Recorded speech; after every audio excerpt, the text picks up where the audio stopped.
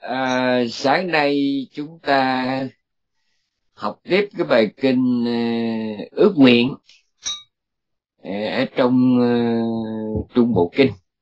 Bài kinh này là một bài kinh uh, tôi cho là rất là quan trọng. Đúng là kinh nào quan trọng hết.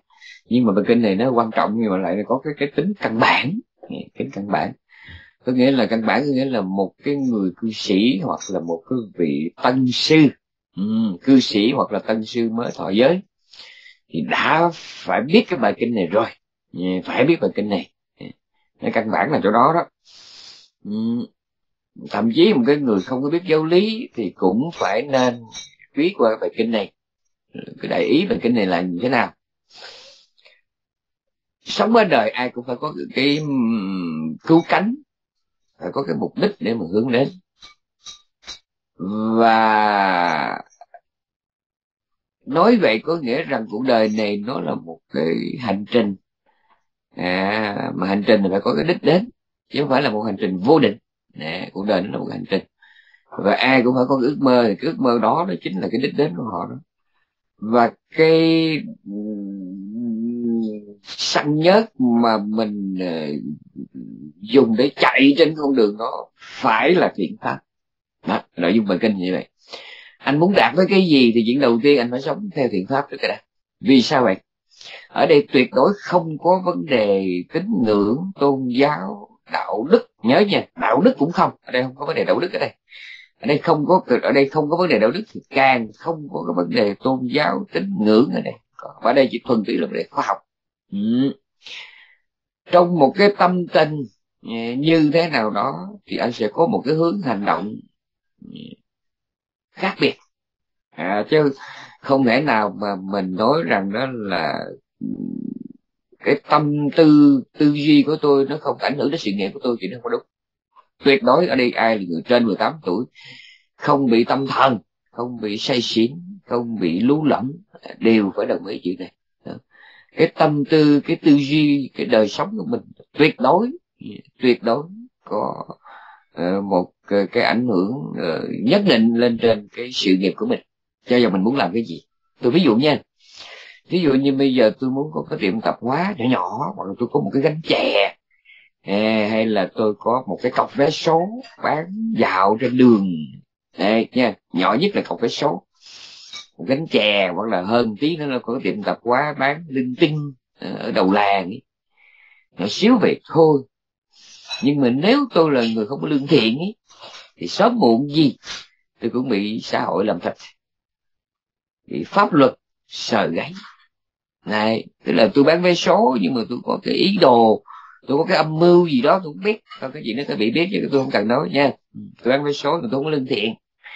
Tôi cứ canh me tôi lấy của người này tôi rọc sách người kia. Thí dụ như vậy hoặc là tôi luôn luôn sống trong một cái tâm thái gọi là Ờ, cơ hội tranh thủ ừ, hám lợi một cách mù quáng. Ví dụ như vậy.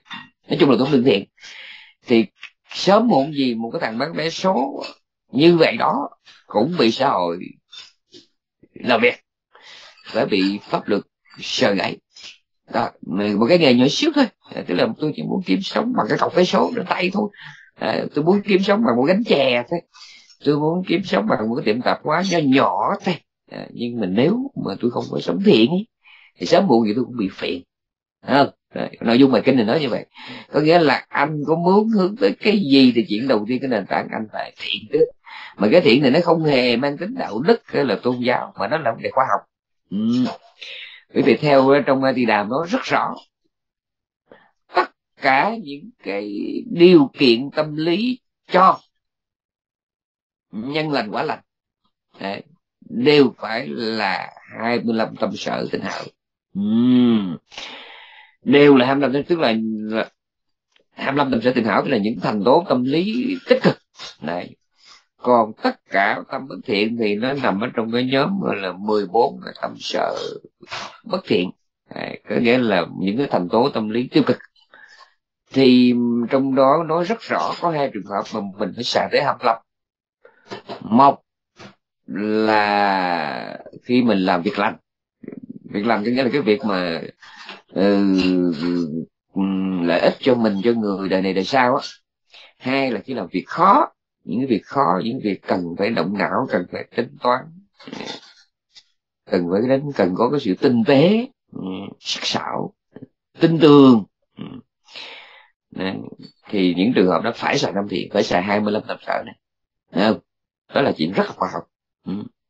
đây là vấn đề khoa học chứ không phải vấn đề đạo đức. Thiện ở đây là mình hiểu là đức là chết rồi nó đem qua đạo đức. Là nó là vấn đề kỹ thuật vấn đề technique. Đấy. Đấy, nhớ cái đó, cái đó. Bởi vì tất cả những tôi nhắc lại tất cả những thành tố tâm lý mà cần thiết cho cái chuyện làm được thiện sống thiện ý sống đạo ý phải là tâm thiện. Nó đã đầm rồi. Mà trong đời sống của một người của một con người giữa cái trời đất này mà nếu mà tâm tư tình cảm mình toàn là những thành tố tâm lý tiêu cực bất thiện thì cũng không làm được việc gì hết. Tôi ví dụ một cái chuyện mà mình vặn cổ ốc Đấy, mình chỉnh sửa cái đồng hồ Đấy, mình leo trèo để mà kéo dây điện để mà cứ dục chạc bồn chồn không? rồi sân si nôn nóng rồi hờn dỗi ghen tuông nhỏ mọn là không được. Cái tâm nó phải có một cái khả năng bình đạm thanh thản nhất định thì mới làm được. Giận gì giận? Thế giận quá thì thôi tụt đất rồi chờ chỉ còn đang cái cơn mà rừng hừng hực hừng hực đó mà leo lên chỗ treo leo nguy hiểm không được. Chỉ nhỏ xíu ngoài đời. Đấy, cho nên làm gì thì làm. Đấy, làm gì thì làm. Thì chúng ta cũng cần có một một cái tâm thái ờ, tích cực ừ, lành mạnh để có thể hướng tới tất cả các mục đích ở đây.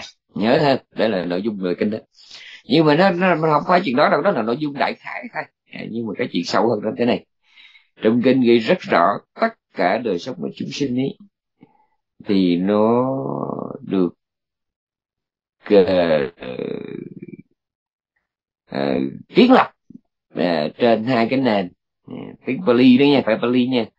Một gọi là Uttana Phalu vi có nghĩa là đời sống phải cần đến cái sự nỗ lực uh, mồ hôi nước mắt ngay trong hiện tại. Uthana là, là sự nỗ lực siêng năng Uttana Phalu quy có nghĩa là đời sống ờ, đừng phải cần đến cái sự nỗ lực ừ, của mồ hôi ừ, của nước mắt ờ, của tay chân ừ, của thức khuya dậy sớm tần tảo ngay trong đời hiện tại này.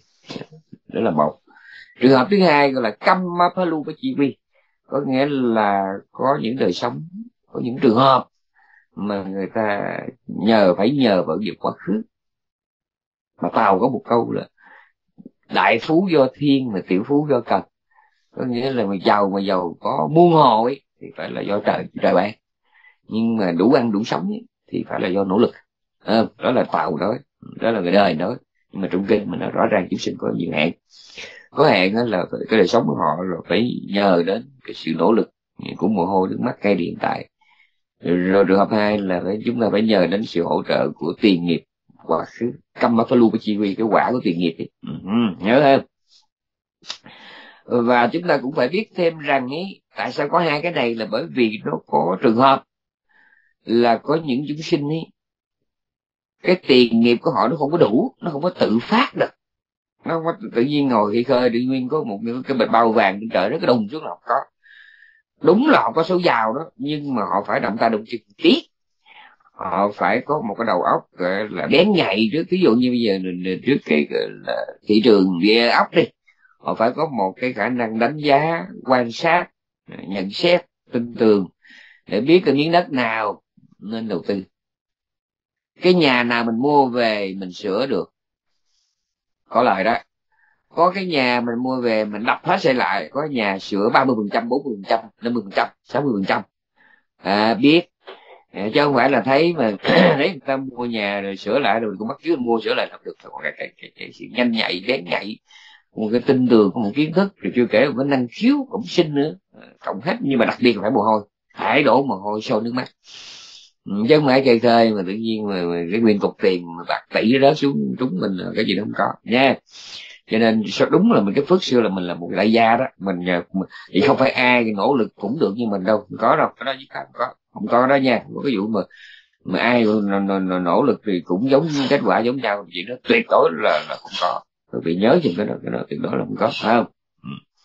Tôi ghét nhất cái câu mà nói thành công là 95 phần trăm nỗ lực. Tôi ghét cái câu mà câu câu nó dốc gạt người ta.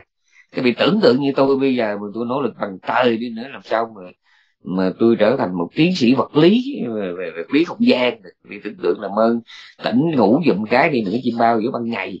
Ừ. làm sao có cái chuyện mà mình tiến sĩ vật lý không gian cái đó là phải năng khiếu chứ.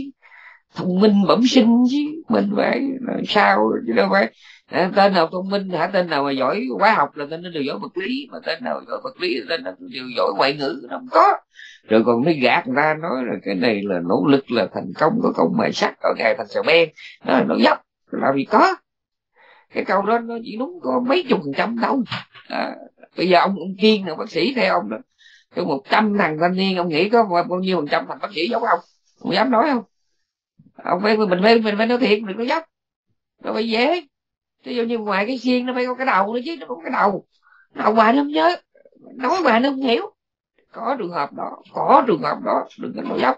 Đừng có nói mà chín mươi lăm phần trăm là nỗ lực, năm phần trăm là khả năng bẩm sinh của thế nó dốc. Phải có khả năng bẩm sinh. Ví dụ như ông nhà thơ chế lăng viên ông có câu đùa đùa nhưng mà người ta có quyền nói mình là bắt chước. Ông nói là ta có tài năng, tài hoa, rồi mình dốt dốt, mình ngu thì thôi, mình lấy cái tài liệu, lấy tài liệu bù vào ừ, cái tài hoa tài năng hoặc là Việt Nam có một câu cần cù bù thông minh ví dụ vậy. Đó là mình cái câu này phải hiểu là ở trường hợp nào và nó đúng được bao nhiêu phần trăm. Nhớ nha. Rồi giờ quay trở lại bài kinh nè. Ai sống bên đời cũng có một đích thép nhưng mà mình phải nhớ đời sống chúng sinh ấy nó được ờ, là được thúc đẩy bởi hai cái nguồn năng lượng. Một là tiền nghiệp quá khứ hai là nỗ lực hiện tại. Thì đã nói cái tiền nghiệp là mình không mới can thiệp rồi. Cái chuyện đã qua rồi bây giờ kiếp trước tôi giết cha giết mẹ kiếp trước tôi thờ cúng thánh hiền thì bây giờ tôi đâu có làm sao mà đụng tới cái nghiệp cũ được gì mà cái bây giờ nè. À, bây giờ nè cái nỗ lực hiện tại nè tôi có cố gắng đúng mức hay không? Đúng cái mức này có gì? Hỏi mức là sao sư? Tôi nói mức này như là nó có vừa vặn với cái ước mơ mà tôi muốn hay không? Ví dụ như tôi muốn uh, uh, uh, có một chiếc xe đạp thì tôi phải có một cái nỗ lực tương ứng với cái giá trị của chiếc xe đạp. Là đúng mức là vậy đó. Ừ chứ bây giờ tôi muốn có một chiếc Ferrari Lamborghini mà tôi cứ kiểu mà người ta bán vé số gánh hàng rong nó mà, mà, mà, mà tám kiếp nó cũng chưa có cái bánh xe Ferrari đó chứ cái nha. Thì kiểu mà bán bánh mì mua bánh bao đó kiếp sau đi nha. Ừ, nhớ cái đó, rất là quan trọng. Ừ. cho nên ấy thì phải cái dạy rất rõ bốn cái yếu tố để mà là kiến tạo sự nghiệp này, gồm có, gọi là tên trung kinh gọi là ít thi bàn đó, ít thiết là ước mơ, nha. Ít thiết là ước mơ. Nhiều tay xin lỗi nha, mà bà chóp bà nhán. Thấy ít thí trong kinh để là thần thông phái quá.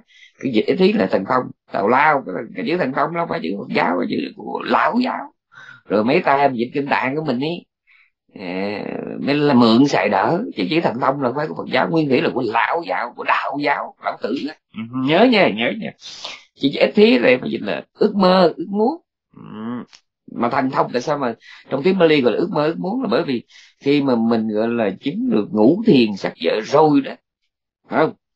Đã kinh qua đã tu tập qua các cái đề mục cá sĩ ná rồi ấy thì khi mà mình muốn thị hiện thành công mình muốn quá hiện cái gọi là từ đất mà thành nước từ nước thành đất từ ờ, không có lửa thành tạo ra lửa lửa đang cháy muốn cho lửa bật. Thí dụ như vậy muốn đi xuyên tường muốn đi, muốn, muốn độn thổ thì tất cả những cái đó nó là điều là ước muốn. Mà ước muốn thì không phải ai muốn cũng được. Mình phải có một cái tâm lực nó mạnh cái định tâm mình nó mạnh đến mức mà mình bốc hơi mình tách hẳn tách rời hẳn cái thế giới hiện tượng thế giới vật chất. Để lúc bây giờ tâm mình với vật chất là một. Đây ví dụ như bây giờ bằng tại tôi nè.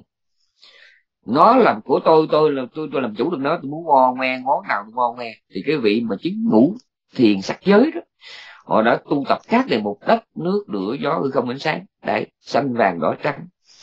Đấy, khi mà không tạo ra bóng tối họ chỉ nghĩ tới màu xanh đây. Là nó bèn có bóng tối. Họ muốn ánh sáng họ bèn nghĩ tới màu trắng hoặc là nghĩ tới ánh sáng họ bèn có. Họ muốn động thổ họ chỉ nghĩ đến nước là lập tức. Đất chỉ chân họ nó thành nước. Họ muốn xuyên tường họ chỉ nghĩ đến cái, cái hư không thì lập tức là xuyên tường. Này họ muốn nghĩ muốn đi băng qua muốn đi dẫm trên nước thì họ chỉ nghĩ đến đất. Thì lúc bây giờ nước thành đất thì đương nhiên bà con không có tu học bà con không có tin nhưng mà tôi tin chuyện này bởi vì cái tâm mình nó đủ mạnh có một lần đó um, ngày ông vua nên minh lên đàm hỏi ngày ta tiên gì chứ sự nói thần thông rồi, sư chấm không có tin? Ngày có cách nào nói cho chấm tin không? Vì thần thông mà bay cái ghê quá phong thành quá. Thì ngày na tiên ngày hỏi về cái từ hồi bé tới giờ đại vương có bao giờ mà lơ lửng được lơ lửng trên không trong không khí không? Tách khỏi mặt đất thì ông vua ông suy nghĩ ông nói có có. Đó là những lúc mà chậm nhảy lên chậm tung người lên. Chậm tung người lên thì chậm có khoảng chừng một hai một hai giây gì đó chậm lên được. Thì ngày đầu tiên ngày mới hỏi chứ tại sao chỉ có thời gian ngắn không được đâu? Thì thì, thì ông nói thì khả năng tới đó thôi. Thì ngài nói thành thông được. Nó chính là ước muốn nhưng mà bởi vì đại dương không phải là cái người tu thiền đại dương còn đam mê trong ngũ dục. Bao nhiêu cái ước muốn đại dương nó dồn hết cho cái, cho cái chuyện tầm bậy tầm bạ. Không bao nhiêu ước muốn á dồn hết cho, cho cái chuyện tầm bậy tầm bạ. Rồi một phần là cái định này của đại dương nó không đủ mạnh.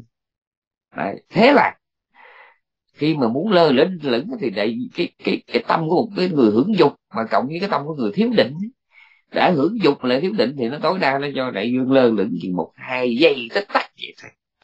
Còn cái người mà họ ly dục cái định họ mạnh ấy họ kéo dài cái thời gian lơ lửng như ý muốn và tay gọi đó là bay. Không có thể không có gì đặc biệt hết nha. Rất là quan trọng. Cho nên ấy, tứ nhĩ túc nghĩa là bốn cái nền tảng của mộng ước à, của ước mơ của ý muốn. Bốn nền tảng đó là gì? Một là dục cái là ước muốn còn mãnh liệt chứ bây giờ mình muốn làm bác sĩ, mình cứ xìu xìu ở nợ ăn là cái bài bạc rượu chè thì tới tới tết mà rắp cũng chưa có lấy bằng bằng bác sĩ được nha. Ước muốn còn mãnh liệt nắng gió mưa sương chỉ là rác. Trở ngại thị phi trên đường đời chỉ là rác.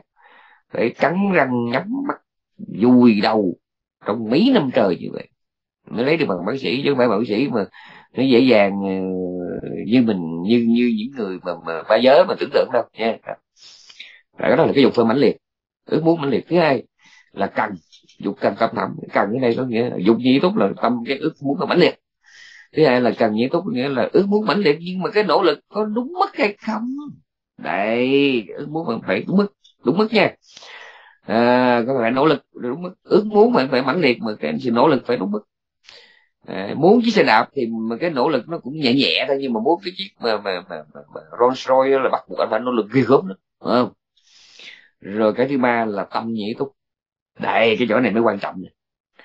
cái tâm thiện ở cái tâm bất thiện cái khả năng mà làm việc của nó không bằng tâm thiện. Mà cái khả năng ờ, là tâm thiện khả năng làm việc của cái tâm thiện ở cái người hưởng dục ấy nó không bằng cái khả năng làm việc của cái người ly dục và cái khả năng làm việc của người mà phàm á không bằng được bậc thánh. Mà thánh thấp á không bì được cái thánh cao. Cái khả năng làm việc ấy. Cái, cái ước muốn ấy khiếp như vậy. Thí dụ cả hai cùng ngồi chú nguyện một cái việc gì đó mong mỏi một mong đợi mong mỏi trong đợi một cái việc gì đó thì trong kinh nói rất rõ là phải là bằng tâm thiện mà thiện càng cao càng sạch. Sạch đấy có nghĩa là thiện của người hưởng dục nó khác cái thiện của người đắc thiện mà thiện của người đắc thiền mà còn phàm ấy, nó không bằng cái thiện của thánh hữu học. Mà thánh thấp thì không bằng thánh cao. Nhớ ha, cái tâm nhĩ túc, cái tâm phải mạnh như vậy được. Ừ. Cuối cùng là thẩm nhĩ túc. Có nghĩa là phải trí tuệ. Anh muốn cái gì nữa anh phải có phương pháp. Vì tây nó có một câu, phương pháp là thầy của các vị thầy. Đó. anh có khôn bằng trời đi nữa, nhưng mà anh phải tuân thủ luật chơi. Anh phải tuân thủ luật chơi. Nghĩa là phải đi đúng đúng đường, có phương pháp chứ anh không có phải mà mà anh anh anh, anh còn anh nghĩ bà giới bà sĩ bà tú rồi anh thành tựu anh thông minh cỡ nào cỡ. Nhưng mà muốn giải bài toán là cái này có luật chung của, của toán học của vật lý của hóa học. Đúng không? Cho anh đừng đâu, đâu có nói là tôi thông minh thì tôi muốn, muốn làm sao tôi làm. Nấu phải theo luật luật đúng luật chơi. Đúng luật chơi thì anh mới có mặt trong cái cuộc chơi được. Này nhớ không? Làm gì phải có phương pháp. Nấu một nồi cơm luộc một nồi rau chiên không biết tàu hủ phải có luật phải có biết cách làm sao. À, phải biết phải biết cái phương pháp chứ không phải là nói mà nói chiên tàu hủ dễ ẹt sai sẽ bét. Có một chuyện mà bà con ở đây dân mình mình là nữ công nhân chấm chắc biết nước sôi là dễ nấu nhất mà đâu phải dễ đâu phải dễ. Đấy, xin nói là lại đứa dốt đứa một người dốt hay là dốc chứ nấu nước sôi đâu phải dễ muốn muốn tôi nói cho nghe không? Bây giờ tôi ông sư tôi bài. Tôi mới nấu nãy cái ấm cái mình chăm mình để cái nước lạnh vô trong đầu mình nấu ấy, trong cái ấm ấy. Mình phải biết là bây giờ tôi muốn nấu nấu ít thì hỏi nói rồi nhưng mà tôi muốn nấu nhiều ấy. Nấu một cái là chăm đầy bình thủy đó thì tôi phải chăm nước nhiều đúng không? Nhưng mà phải ở cái mức nào chứ không thôi nó trào. Ôi vậy đó nó trào nó trào. Là một. Và tôi nói mấy cái mấy cái tay phật tử mà lui tới thăm chúng tôi. Mười người là chưa thấy được nửa người mà mình mình nội trợ tôi vừa ý mặc dù tôi rất là ẩu tôi vừa nam mà vừa ông sư nữa mà tôi che mấy cái dông nữ mà tới nhà tôi, tôi chê vậy. Ví dụ mình nói trào máu mình mửa mình bệnh mình nằm thôi thóp mình nói cho tôi xin miếng nước nóng. Cái gì biết làm sao? Đó còn bác sĩ ngồi nghe cho kỹ nữa. Vậy chỉnh bà lệ là Đấy. cái gì tưởng tượng đàn bà tám con mười lăm cháu bảy thằng chồng năm lần ly dị. Mà nấu ấm nước sôi nước nấu mình đang thôi thóp. Thì làm ơn, không có nên nấu nhiều. Ông sư, ông cần nước nóng, mình nấu một chút thôi. Đủ một cái ca cho ông uống thôi. Đằng này nó chơi một cái ấm đầy nhóc từ cái thời mà hán ừ, đường tống nguyên, minh thanh, từ đời lưu vang mà lập quốc tới cái thời mà nhà thanh mạc, lúc từ từ khi gấp hội nó mới sâu được cầm nước gì nghĩ nguyên một cái lịch sử trung hoa. Nó bằng cái nắm nước sâu. Thì vì nghĩ lúc là tôi như mồ xanh cỏ. 49 ngày của tôi họ mới bưng vô được cái chén nước cam cái cái cái, ca nước lạnh nước sôi như thế. Nó nấu nước sôi đâu phải dễ. Chưa còn nhà quê. Nhà quê mà nấu bằng lửa củi lửa rơm nấu thì sao mà nó nước đừng hôi khói nãy giờ tôi các vị tưởng tôi nói lạc đề không? Tôi đang chỉnh cái cái, cái tàu lao của quý vị. Cái gì cũng phải có phương pháp hết. Nó phải dễ nó phải tôi, tôi chỉ liếc qua tôi thấy cái tên nấu cái nấu nước kiểu này hồi nó hơi khói cho mày le lử luôn. Không phải dễ đâu nha phải dễ là nấu mà đừng đừng có hơi khói mà chuyện dễ. Lửa rơm lửa cỏ lửa củi không phải dễ nấu đâu nghe không? Mà nói là tôi thấy mà cái cách mà trống mông mà thổi phù phù là tôi thấy cái tên này thua. Đấy. rồi. Như vậy thì chỉ có nước sâu cho nên là mình thấy lúc nào là chăm lúc nào là nấu nhiều lúc nào nấu ít. Mà nhiều là nhiều bao nhiêu. Rồi nấu sao đừng hơi khói không phải chuyện dễ đâu chưa kể có những cái chỗ nước mà nó bị vôi nhiều cái căng ghe nhiều ấy, mình phải làm sao? Là dễ, khó trong bề. Nước sâu thôi, nước sâu thôi. Nói đời của tôi nó đoạn đường tôi từng đến phật tử mời tôi về nhà, mà tôi đến họ. Bà chị biết nấu ăn đi vắng nhà để đứa em. Trời ơi. Phải về trễ, bà chị về trễ, mà lúc đó cũng cạnh giờ ăn. Bà em mới thương mình quá đi. Trong nhà có bao nhiêu cái gì ngon, cái gì quý bà mới dồn hết. Rồi nó con biết nấu rồi, con biết chiên trứng thôi. Thôi con chiên cho chị ăn.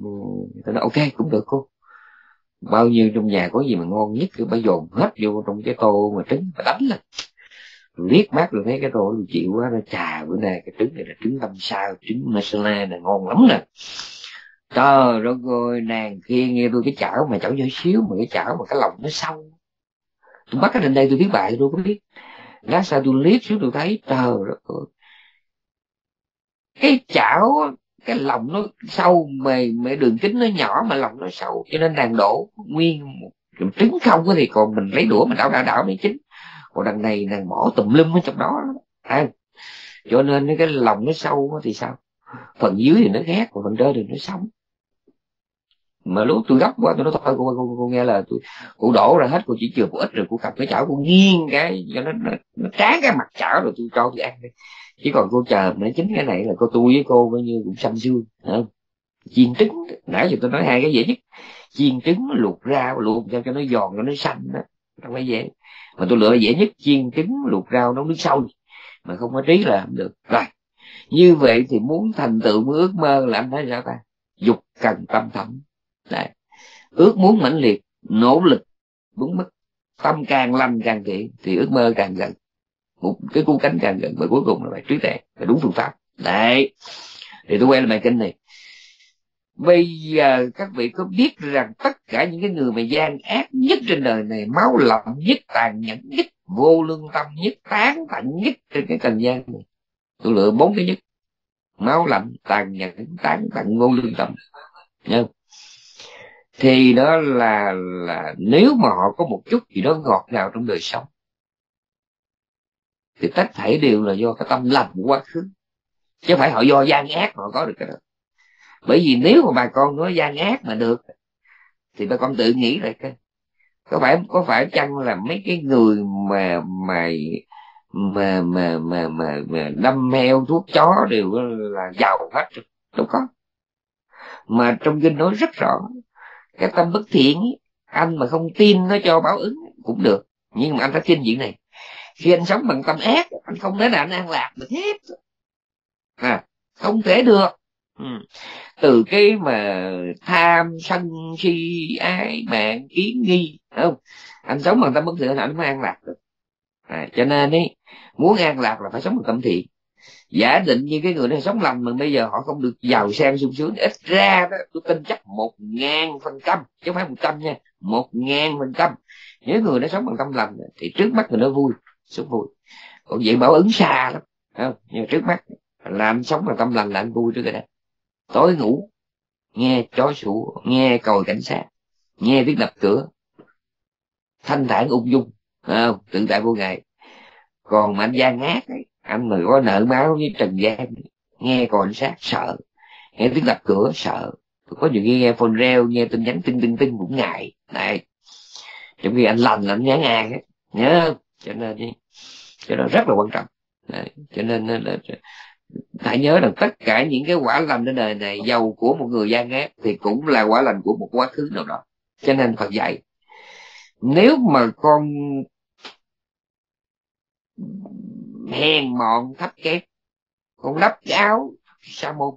Nếu con hèn mọn thấp kém, lắp áo sa môn, không cầu giải thoát à, con hèn mọn thấp kém mà con đắp áo sa môn không vì cái cứu cánh giải thoát. Không chỉ cầu danh lợi. Coi kỹ bài kinh có đúng không? Coi kỹ có đúng không? Ừ. thì dầu con là người cầu danh lợi thì con cũng phải sống cho nó đàng hoàng sống theo tinh thần tam học. Thì cái danh lợi nào mà có được từ cái đời sống đàng hoàng ấy ít ra nó cũng bền nó chắc ăn chắc ăn. Nếu mà con sống thiện để cầu danh lợi mà chẳng may con không được như ý đó thì con cũng mất gì? Con chỉ có được thôi. Chỉ có được thôi. Nha, chỉ có được thôi. Đắp áo sa môn mà không có hướng tới cứu cánh giải thoát mà chỉ để cầu danh lợi thôi. Thì cách tốt nhất trong một ngàn lẻ một cách cầu danh lợi, thì cách tốt nhất vẫn là tu học đàng hoàng. Vẫn là tu học đàng hoàng. Đấy. Không có một con đường khác. Thì dĩ nhiên cũng cảm thấy một ngàn lẻ một nghĩa là trừ cái cái đàng hoàng này ra, còn tới ngàn thì không có cách nào an toàn. Mưu ma trước quỷ không? Lật lọng lừa đảo chạy chọt đi cửa sau đi, đi quan hệ chạy vậy tâm lum đủ cách. Nhưng mà không có cách nào tốt mà tu học đàng hoàng. Tu học đàng hoàng là sao? Bản thân có đức hạnh và có kiến thức giáo lý. Có kiến thức giáo lý có đời sống thiền định. Mặc dù chỉ để nhắm đến chuyện trở thành tổ sư bồ đề không? Chùa to phật lớn. Không? mục đích chỉ tới đó thôi nhưng mà chỉ cần anh có pháp học pháp hành. Đấy. Là nếu mà chẳng may mà anh không có được như anh muốn ấy thì anh cũng không bị gì? Anh cũng không bị gì? Anh chỉ có được thôi. Đây đó là cái đầu tiên ấy. Cái đầu tiên à, thấp à, hèn bé mọn à, chí như con tép ruộng không biết cầu giải thoát. Đại đạo vô thượng bồ đề chỉ một lòng cầu danh trục lại thì cũng phải chọn đời sống đàng hoàng. Này nó vừa an toàn mà nó vừa an lạc. Ừ, an toàn nghĩa là mình chắc an là không bị gì đó còn an lạc nghĩa là khi sống bằng tâm lành là, là trước mắt là an lạc đó ra này đây là một cách nói có một cái chữ tôi tránh tôi không dám nói nhưng mà tôi rất muốn nói là cái chữ mẹo. Ừ, đó là một cách nói mẹo thôi. Nhưng mà lẽ bực tránh này cánh giác làm sao tôi dám dùng cái chữ đó? Nhưng đó là một cách nói mẹo có nghĩa là trong trung bộ kinh ấy có vài cái này này các tỳ kheo một người mà tu đúng giàu không có kỹ cầu giải thoát cũng có thể chứng đạo. Đó là một cách nói gần như là một cách nói mẹo vậy đó. tu đúng nha đúng nha. Đúng là gì? Chánh niệm miên mật trí tuệ miên mật à, à, nhận thức rõ đây là danh đây là sắc đây là nhân đây là quả đây là vô thường khổ của ngã liên tục như vậy một ngày hai ngày một tuần hai tuần một tháng hai tháng. Thì dầu không có lòng cầu giải thoát thì phiền não tự bị đốt cháy tự bị đốt cháy. Nhớ nha tự bị đốt cháy. Và phải điều kiện phải tu đúng á tu cho đúng. Trong trung bộ kinh. Nếu mà các vị nào nghi ngờ á thì, thì đánh tôi cái google đánh vô google cái cái, cái từ khóa này nè. Hạt lúa mì đặt đúng hướng. À, để giùm tôi cái câu này ông ông ông chiên chiên chiên lục cho tôi đó ông chiên hạt lúa mì hạt lúa mì lúa mạch chỉ nó ông chín hai chữ à, lúa lúa mì đi lúa mì đi. Đặt đúng hướng. Ừ. Ừ, đâm thủng vô minh thêm hạt lúa mì đặt đúng hướng đâm thủng vô minh. Đánh tôi coi cái bài kinh gì tôi quên cha rồi. Rất là quan trọng. Tức là mình không có cầu giải thoát nhưng mà mình tu đúng thì nó thì não tự nó xử tự ừ, đặc biệt như vậy. Nhớ hơn. Cho nên tuy ngài nói là ờ, bé mọn thấp hèn không cầu giải thoát mà chỉ cầu danh cầu lợi thôi đó phải không? Miễn là anh tu đúng. Thì khải cái đăng khải cái cái hy vọng rất lớn. Rất lớn. Mà trong trong trong trong cái room này ngoài cái ông ông ông ông kiên là biết có ai mà mà, mà tìm được rồi rồi rồi, rồi chuyển cho ông kiên được. À, à thì đâm thủng vô minh xem cái đâm thủng vô minh biết. Tại mình kia ông đi kiếm tự nhiên ông boss trên đây cái ông này hát thì chứ ông vô google ông có vì tôi đang bận mà theo tôi tìm được. Bây giờ tôi đang đi tôi đi tìm cho các gì thì coi con có cái con cũng có đừng làm cái bài này trong cái trang của sư để con kiếm mà. Ở ra rồi vậy là vậy là ông có biết biết bài này phải không? Dạ con biết con biết con con, con có vẽ hộp con có vẽ hộp lúa đó mà sư. Rồi rồi rồi. Bảo học Việt Nam tôi về tôi giảng cái vụ mà, mà không mời được tăng ni mời cư sĩ về cúng dường. Trời nó chửi tôi như là chửi con. Này. giống như sáng nay tôi biết gì cũng hơi buồn là ngẫu nhiên tôi uh, vào trong facebook không có người nói tôi mới biết có người nói mà người, người sáng nay biết ai đăng cái bài mà tôi tán thán thì ngồi chứng minh. Này. giờ lên tôi hòa thượng rồi. Mà họ họ nói tôi câu này đau lòng. Nó trời ơi sư quý ngài quá mà sao về chửi sư như con chó? Đúng. Đúng. Không biết ai nói gì ngài chứng minh mà tôi đâu có gặp ngài đâu. Cũng mấy chục năm tôi đâu có gặp mà ngài lên ngài thuyết pháp ngài chửi tôi không còn cái non nước nào ở sài gòn. Thì xin mời con có dịp hỏi ngài. Thì có tôi có phải phiền gì ngài tôi xin sám hối không? Chứ còn mà tôi nghĩ không ra vì mình đâu có gặp nhau mà tôi đâu có nhắc đến tên ngài tôi chỉ có biết bài khen ngài thôi. Mà sau ngày chửi tôi chửi không còn cái nước đâu. Mà, mà ngày chửi mới đây thôi mới chửi đây. Mà ngày bị ai tác động như có lúc này ngày bị ai đó tác động ngày chửi thì ni việt nam nó không còn cái gì. Rồi ngày chửi trên bún long không còn cái gì rồi cũng bị tác động. Bữa nay cái ai tác động thì ngày thấy ngày chửi tôi không còn cái gì nhớ rồi cho nên cái gì phải có bằng chứng nha rồi. Thì bây giờ đó là uh, các vị coi trong đó ờ, coi trong cái bài kinh mà, mà ông ông kiên sẽ cho biết. Rồi. Đó là muốn thành tựu cái đạo nghiệp giải thoát đương nhiên là phải tu tập tam học. Đương nhiên là phải có pháp học pháp hành. Pháp học đây có nghĩa là kỹ thuật giáo lý. Pháp hành ở đây là tu tập chỉ quán. Ờ, à, giới định tuệ. À, và pháp học là phải kiến thức giáo lý. Bởi vì phải có văn có tư thì nó mới ra cái trí tu. Nhớ nha. Ừ, đó, cái đó. còn cái chuyện mà trung kinh nói là eh, ai đó ai đó là không từng học giáo lý tự nhiên gặp ngài sẽ lại phát và gặp đức phật cái họ nghe họ đắc. Rồi cái mình nói thôi giờ tôi cũng khỏi học tôi, cho tôi hy vọng tôi gặp cái sư phụ nào nó phán câu tôi đắc thì tôi xin can. Đừng có suy nghĩ đâu anh em là vì sao? Vì thứ nhất cái, sư phụ mà mấy người xưa trong kinh nói là sư phụ là ai? Là đức thế tôn là ngài xá là phát nghệ na ngài cai diếp. Yeah thứ hai cái người học trò mà không cần học gì hết mà nghe qua đắc người học trò là là ai? Thì nghĩ một cái là thấy rung rồi. Cái người mà đủ duyên chứng thánh mà lại đủ phước gặp phật thì các vị nghĩ cái người như vậy đó. Mình có dám so không? Nghĩ dùm tôi cái đó thôi. Nha.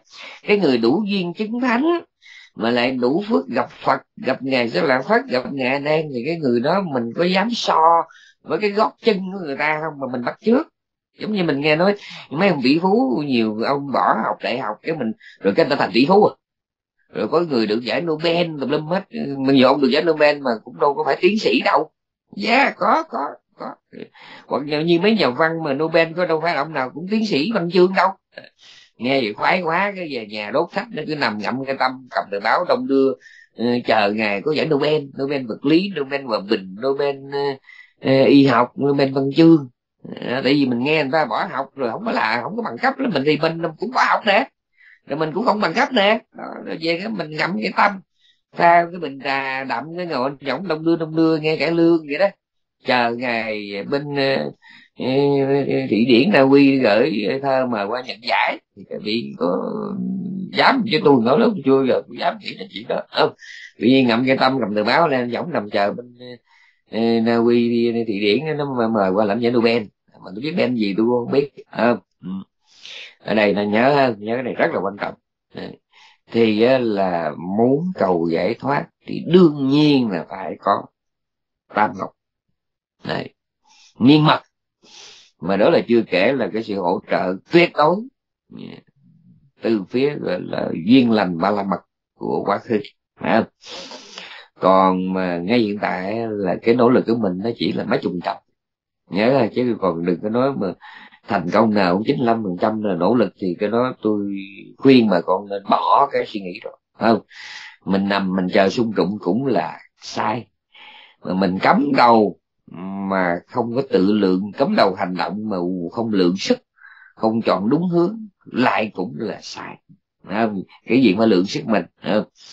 chứ còn mà mình cao có thứ hai mà đòi đi thành ngôi sao bóng rổ thì tôi nghĩ khó không người ta hai thước mình có thứ hai mà đòi đi thành ngôi sao bóng rổ thì tôi nghĩ phải xét lại không mình thì ho hen lum hết mà rồi, rồi, rồi mà đôi khi muốn làm cử tạ ba bốn trăm kg thì tôi nghĩ hơi khó không cho nên bài kinh ước nguyện này là gì? Bài kinh ước nguyện này có nội dung thế này.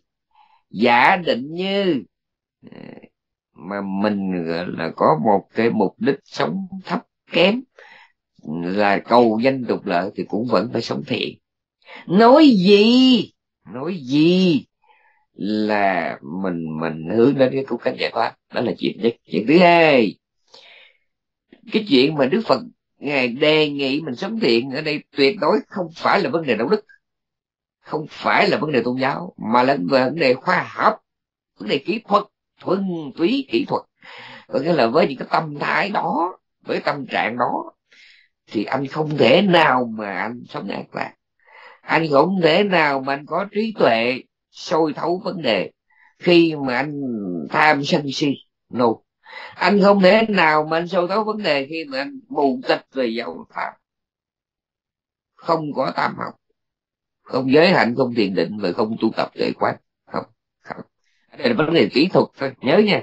Chứ còn không kéo mà con cứ nghĩ là chắc đức phật thì kêu gọi mình để theo, tu theo cái lời dạy của ngài cho có phước. No no no no. Vậy ở đây là vấn đề kỹ thuật. Thuần túy là kỹ thuật. Không có đạo đức ở đây.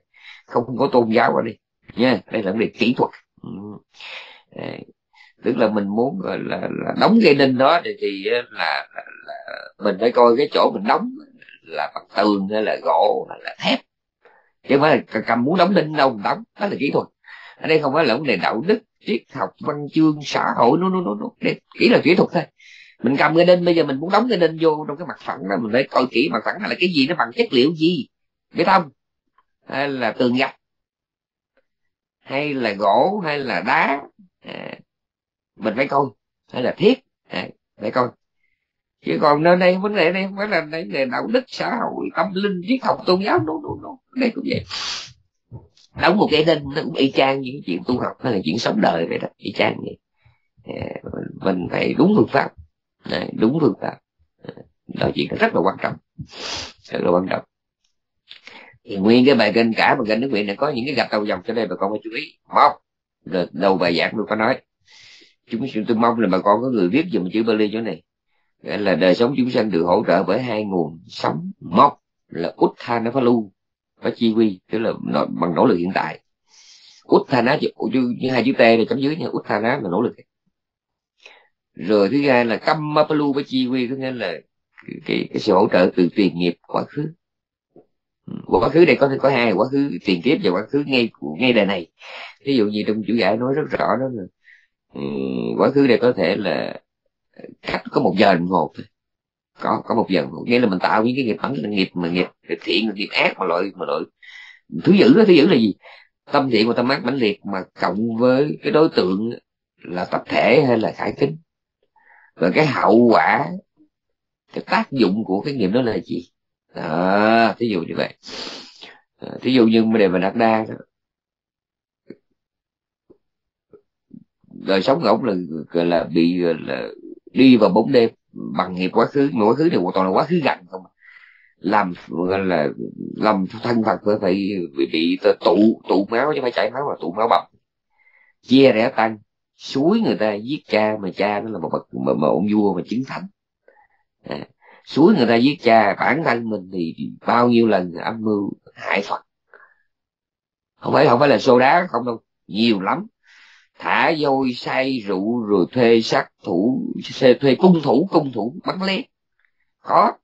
Rồi bản thân đi lăn đá rồi thả voi đi voi say rồi thuê 16 cung thủ để, để bắn lén thì tụi rồi chia rẽ tăng. Suối người ta giết cha. Giết thánh nhân nó nói cho rõ là giết. Giết cha mà cũng là giết thánh nhân. Đấy. Thì với chừng đó nghiệp là cũng cái, cái đời sống cũng bị tác động bởi gọi là cũng là quả nghiệp đấy mà nghiệp cái nghiệp gọi là quá khứ gạch thì ông làm trước đó những vài tháng vài năm thì nó làm bầm phát là bị bị sinh, sinh hồ luôn bị sinh hồ là bị bị hố tử thần bị rút bị sụp, sụp hố tử thần ấy.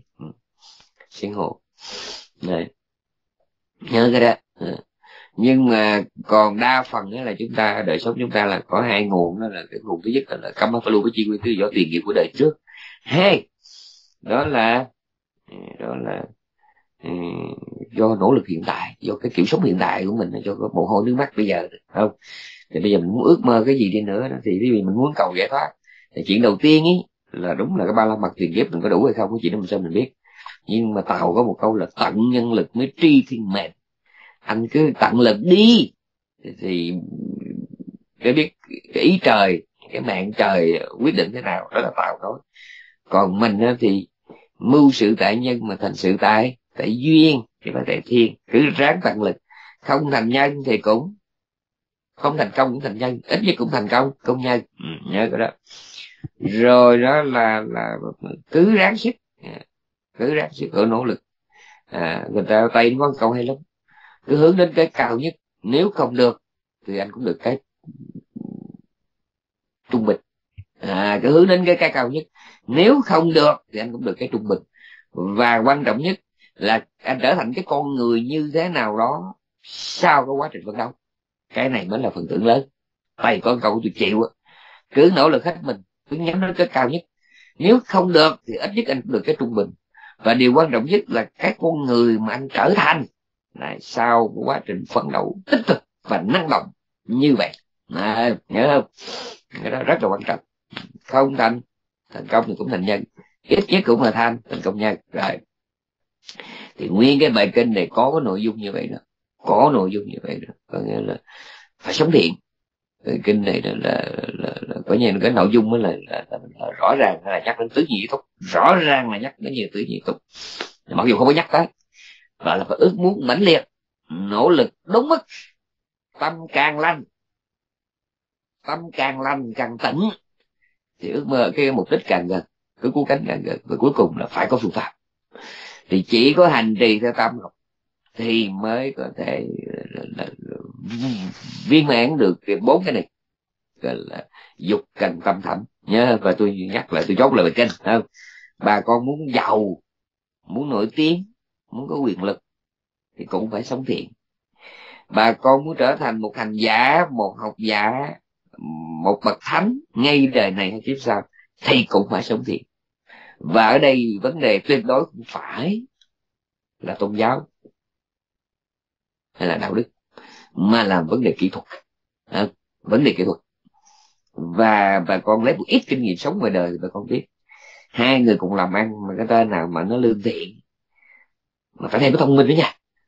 Phải có thêm thông minh nữa chứ đừng có nói mà cần cù bù thông minh không được. Phải siêng nhưng mà phải thiện là thông minh. Đúng phương hướng đấy đúng phương hướng đấy thông minh này không cần mà là phải thiên tài phải kiệt sức không cần.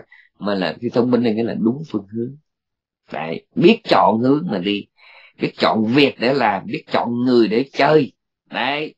À, biết chọn hướng để mà hành động. Thông minh ở mức đó thôi. À, thì mình mình buôn bán nhỏ thì mình cần cái thông minh vừa vặn với cái buôn bán nhỏ tiểu thương mà mình muốn trở thành đại gia buôn bán lớn thì mình cũng phải cần có một cái cái tầm và cái tâm của một đại gia. Nhớ không? Chứ còn cái có tầm nhìn nhưng mà không có cái tâm thì không được. Không được nó không có bền. Thì tôi cũng không có muốn nhắc nhiều những người bị ngã ngựa yeah, trong cái giới đại gia và con tự tìm hiểu nha nhưng mà tôi thấy sống thiện mà có ngã ngựa đó thì cũng có được sống. Tôi tôi chưa ví dụ trong nước này thì tôi đang nói chuyện chuyện tốt chuyện xấu tôi không nói chuyện chuyện tốt nhưng mình thấy như cái ông hải ông hải ờ, ông hải hải sứ ông hải sứ ông hải sứ miền bắc ờ, ông mà mà, mà trầm về gọi là xứ mà xứ xứ xứ dắt vàng ấy. Ông đâu năm lớn tuổi rồi ông từng bị án tù thậm chí tử hình ấy. mà bây giờ có hình đại gia. Rồi ông ờ, cái ông ông lê hiểu gì mà ở ngoài bà rịa đó mà ông, mà ông mua cái giường mà, của an lê đó, cái giường mà bạc tỷ cũng từng bị án tử hình. Rồi ông Lý Quy Tình ở Sài Gòn, ông cũng từng là án tử hình. Đấy. nhưng mà khi người ta sống thiện người sống có mục đích có lý tưởng thì cái khả năng mà hồi sinh hoặc khởi, vùng dậy rất lớn. Mà giả định như họ không có được như ý đấy, thì họ sống vui lắm, sống sống vui lắm. tôi tin cái điều đó giống như tôi tin tôi có mười ngón tay vậy đó. Tôi tin đó anh nhớ không? Cái này rất là quan trọng rất là quan trọng. À, có nghĩa là mình là nãy tôi nói, nói hơi đời chút rồi đời tôi, tôi nhìn mấy người đó như một cái tấm gương uh, gương sáng. Ừ, có nghĩa là khi mà sống thiện thì giả định mà mình không được toại nguyện thì mình vẫn được vui. Ừ. vẫn được vui. Và trong kinh nói rất rõ. À, và chính đức la lama cũng nói ý nghĩa của đời sống là phải an lạc. Nhưng mà anh an lạc với cái gì? Có người an lạc với tội lỗi với phiền não với sự hưởng thụ có người an lạc là vì họ không có còn cái gì để thích. Và cuối cùng họ an lạc là vì họ sắp sửa không còn hiện hữu. À, một là có được cái mình muốn có được cái mình hưởng thụ. Hai là an lạc là vì thế mình không còn thích gì hết. Và cái thứ ba an lạc là vì biết mình sắp sửa không còn tái sinh. Mà rồi cái này thứ ba là dưới đầu đúng không? Dẹp dẹp dẹp dẹp dẹp nó hai cái đầu thôi không? Thứ nhất là có được cái mình muốn và cái thứ hai là vui là vì mình không còn muốn cái gì nữa. Đây. thì muốn cái gì, muốn đạt tới cái vị trí nào trong ba cái này, một là muốn được tội nguyện, hai là muốn mình không còn ước gì ước mơ, ba là muốn mình không còn hiện hữu. Thì cả ba cái muốn nị nè cả ba cái muốn nị nè chỉ có một con đường tốt nhất, mà an toàn nhất, chắc ăn nhất để mà thực hiện, đó là sống thiện, theo cái tinh thần tam học. Không? Thì đó chính là nội dung của bài kinh ước nguyện mà tôi thiết tha chân tan thiết lòng, chắc giả, mong gửi được các vị. Mong ai trong cái điểm này tự xét mình. Ngay mình nghe bài giảng này, tự xét mình coi cái ước mơ mình đứng tới là gì không? Dù là ngoài đời hay là trong đạo. Thì làm ơn nhớ dùng lời phật. Không có cách nào sai được. Không cách nào sai được.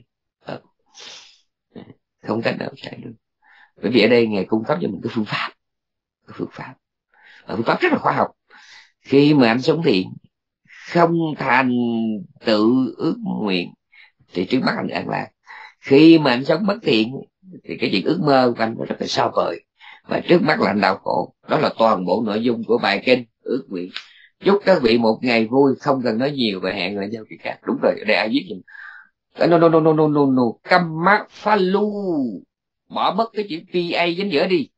Bỏ bớt cái chữ pa dính giữa đi. Phá lu. Rồi đó vậy đó. Ta nó có lu lu. Chữ u chữ u u u u u gạch ngang ở trên giống như chữ chi vậy đó. Chữ, chữ u gạch ngang trên cả tức là u quá chi mi. Cầm mắt pha lu quá chi vì đó. Ừ. Thì người ta tu đúng là đó là dục cần tâm thẳm mà tu sai là dục cần thâm thẳm à, thì cái, cái, cái lớp này thì ghê. Chúc các vị một ngày vui. Ok hẹn lại chào uh, chị sao chào đây chị sư